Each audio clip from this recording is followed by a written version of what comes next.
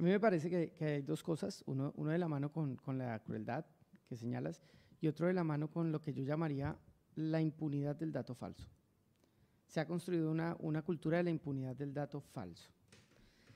Eh, me parece que es, eh, nos permite una caracterización también en esta línea de todo lo que pasó con los Jumbo Bot, ¿no? Sí, claro. Unos datos falsos, Claro. que esto es muy interesante. Solemos pensar que los datos falsos los generan los gobiernos, los empresarios, eh, eh, las think tank, etcétera. Bots. Bien. Pero esto era un dato falso que era para hacerlo picar a mi ley. Esto es muy interesante porque entonces significa que ellos no siempre crean el dato falso, sino que se lo encuentran por ahí y no tienen pensamiento científico.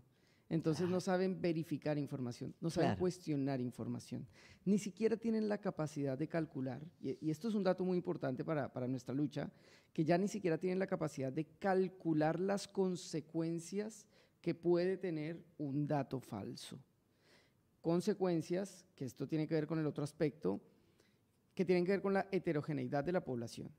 Hay grupos poblacionales frente a los cuales no tiene consecuencias el papelón del jumbo bot. Y hay grupos poblacionales frente a los que sí tiene consecuencias. Esos grupos poblacionales frente a los que sí tiene consecuencias fueron ignorados por el gobierno porque ya ni siquiera se tienen la capacidad de analizar las consecuencias que puede tener un dato falso. Y un último detalle de esta impunidad que, que me, gusta, que me gustaría marcar es que, como todo en política, lleva años cocinándose la cultura del dato falso.